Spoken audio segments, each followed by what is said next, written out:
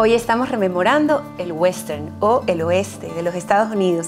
Hay comida tan rica como las alitas, búfalo, costillitas.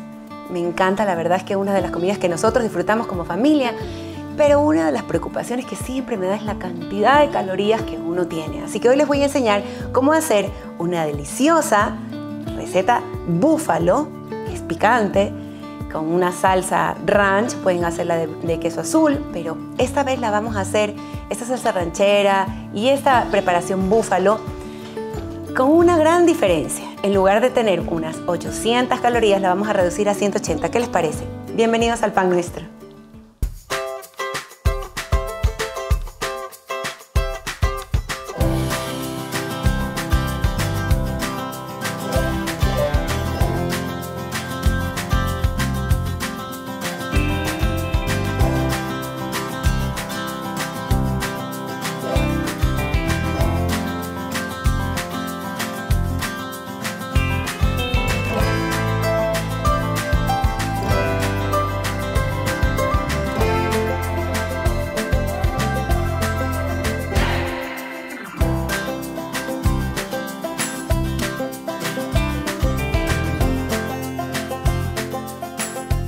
Primero que vamos a necesitar es escoger del pollo la pechuga, que es la parte que tiene menos grasa. Ustedes saben que es la más baja en calorías.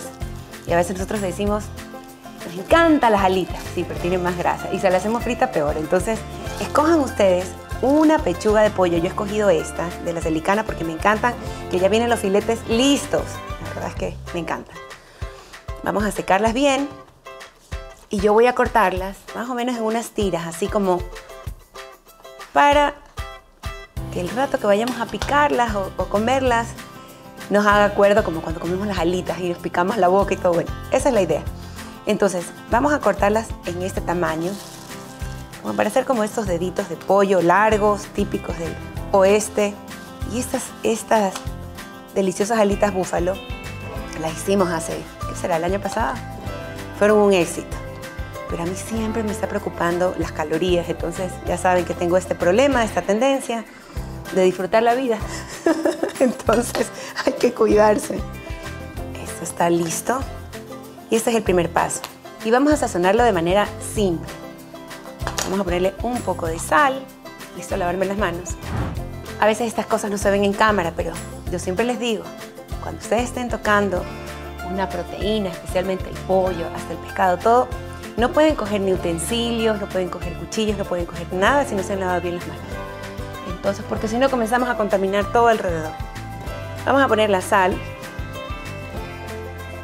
Y aquí sí todo va a sazonar.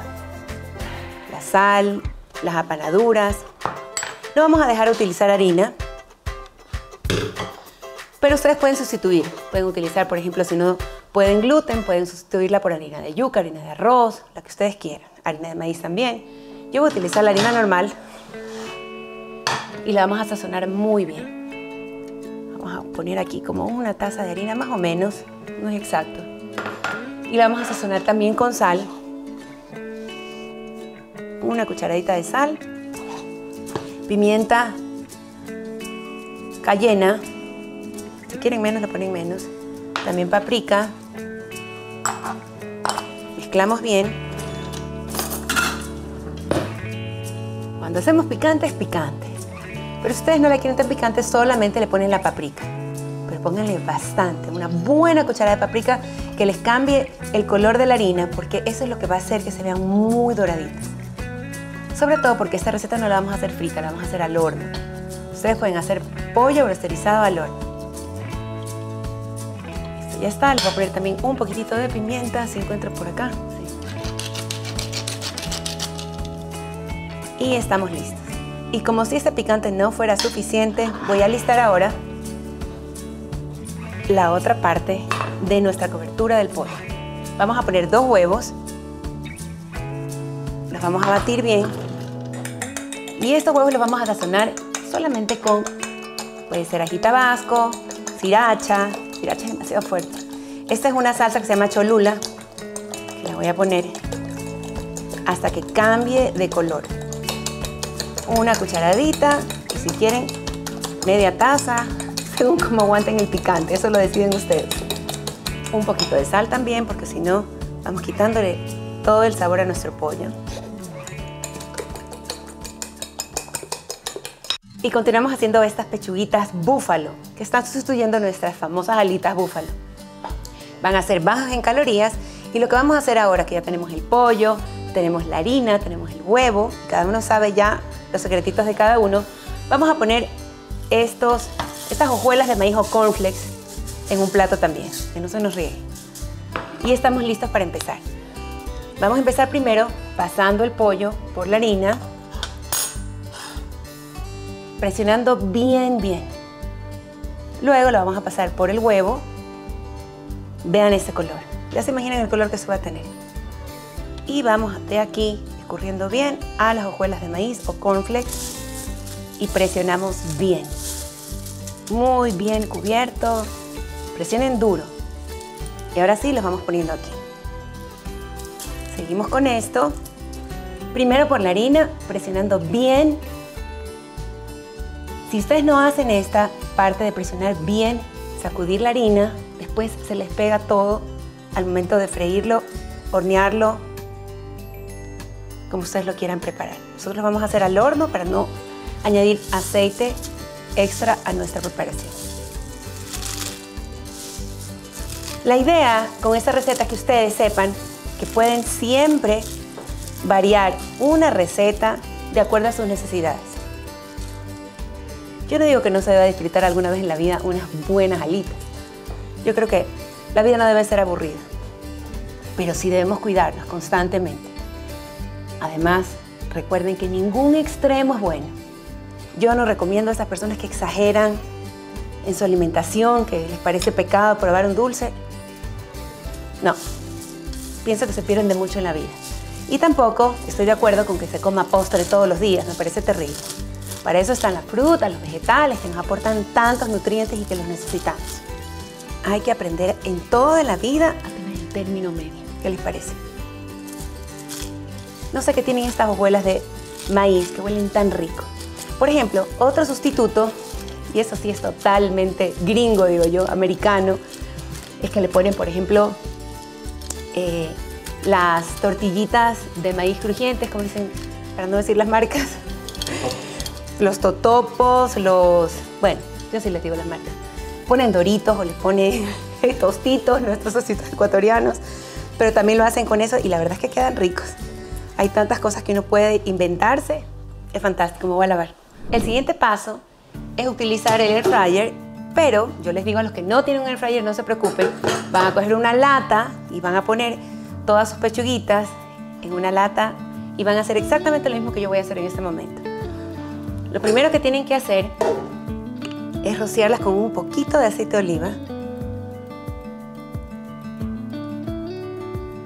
Si lo quieren hacer con un spray de aceite, mucho mejor. Yo trato de hacerlo con, pensando en lo que la mayoría tienen en sus casas. Lo colocamos en el air fryer aquí. Este horno de viento,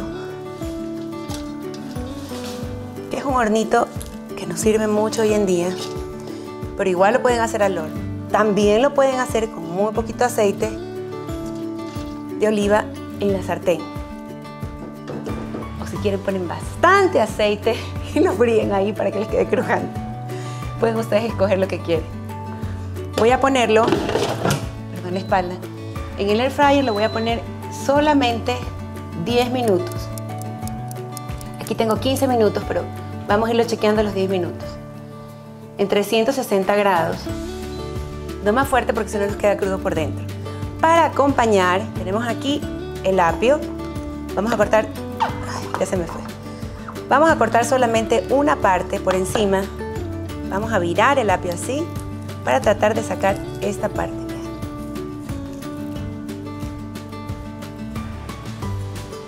Y así utilizar de la mejor manera el apio y que no se nos queden luego todas esas, vean, todos esos hilitos en los dientes. Una vez que esto está listo, lo vamos a cortar en la mitad y hacemos unos bastoncitos más o menos de este tamaño porque esto es lo que nos va a ayudar a quitar el picante de la boca. Vamos a repetir Cortamos solo un poquito, no todo. Viramos y vamos jalando y sacamos esto. Lo mismo del otro lado. Un poquito. Jalamos, miren. Dejamos limpiecito el lápiz. Nuevamente cortamos primero por la mitad hacia arriba y luego así. Aunque no crean, para mí esto es una golosina. Y cuando pido, mis alitas picantes me paso comiendo el lápiz primerito. Yo creo que aguanto unas dos alitas picantes, no aguanto más. Y esto se acompaña con una famosa salsa de queso azul. La verdad es que a mis hijos no les encanta mucho. Creo que a Luis Felipe sí le gusta. Los demás no. Entonces yo aprendí a hacerlos también con una alternativa que es la salsa ranchera, la pueden comprar en el supermercado. A mí no me gusta mucho el sabor cuando se, se siente el químico. Entonces yo lo que hago, y les doy mis secretos, si ustedes quieren hacerlo, lo hacen. Si no, pueden poner cualquier condimento, por ejemplo, un poco de cebolla en polvo, ajo en polvo, un poco de hierbitas, las que ustedes tengan secas, y ponen con un poco de yogur. Sería fantástico. Yo lo que hago aquí en la casa es que pongo este yogur que no tiene grasa, ponemos una cucharadita de esta salsa ranch, que yo me la compro, está nuevecita, solo para enseñarles a ustedes, porque la viejita que está toda terrible, una cucharadita, ahí lo mezclo y está listo. Pero ¿qué tiene esto? Tiene leche en polvo, tiene un poco de ajo en polvo, cebolla en polvo y esta perejil seco, estas hierbitas secas. Vamos entonces a poner en uno más pequeñito porque la idea es coger un apio. El yogur verdaderamente quita el picante. Todavía no están mis alitas, pero esto me encanta. Mm. Ahora tenemos aquí miel, miel de abeja, y vamos a hacer la salsa con la que vamos a bañar nuestras pechuguitas. Tenemos aquí como unas dos cucharaditas de miel y le vamos a poner la salsa picante, unas cuatro gotitas. Vamos a mezclar. Inclusive si ustedes ya no quieren ponerle picante, no lo hagan, pero yo les voy a dar la receta como queda delicioso esto. Primero la voy a poner sobre el pollo y luego la vamos a colocar en un recipiente pequeño. Y estamos listos. ¿Quieren ver cómo quedó? A ver, mire. ¿A quién le provoca comerse este pollito crujiente? Yo los pongo así y les quiero enseñar cómo quedan los del horno. Pero están bonitos. Podemos poner uno por aquí, en mis platitos del oeste. Ya se puede imaginar que nosotros tenemos toda una celebración del oeste aquí en la casa. Y mis hijos les encanta. Uno por acá. Y me encantó tu receta, Alejandro. Tuvimos un problema y es que nos gustó tanto que no nos aguantamos para que la pueda presentar conmigo. Es un bandido porque se la comieron todita. Así que él es mi bandido del oeste. Esta acá. Yo sé que a ustedes les va a encantar y para los niños hacemos exactamente igual pero sin el picante. A ellos no les podemos dar picante, pero sí les podemos dar todo nuestro amor. Así que la imaginación siempre para la disposición a, a los otros. Vamos a probar, yo me muero de ganas de probar.